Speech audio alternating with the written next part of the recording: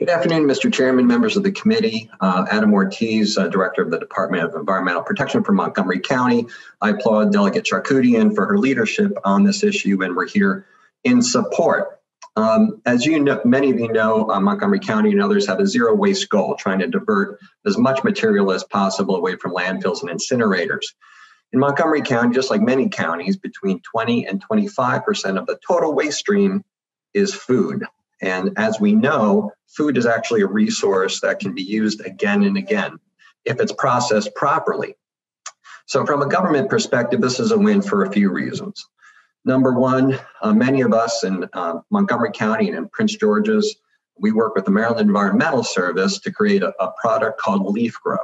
We take that food scrap, we mix it with um, yard waste and leaves, and it's a, a, product that is sold on the shelves of Home Depot, Lowe's, and other places. So that helps counties break even on their waste management systems.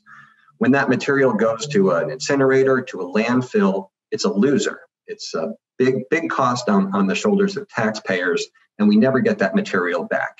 It's there, it's gone uh, forever. But uh, with composting, we can do it again and again. So it's a win for government trying to balance the books. It's a win for the environment. All of us are talking about climate.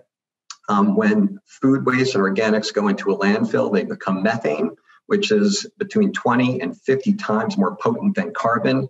Composting is carbon neutral. It's also a win for businesses. So for collection uh, and disposal of food scraps, it is a fraction of the price of having it hauled away and treated as garbage. Um, it's about at least 15, uh, in some cases, 30% cheaper. And as many of you know, I oversaw the construction and the operation of the Prince George's County Organic Composting Facility, the largest in the state. And I'm happy to share any notes on the success of that program. Uh, Mr. Chairman, I see my time is up, but I'm happy to take any questions if there are any.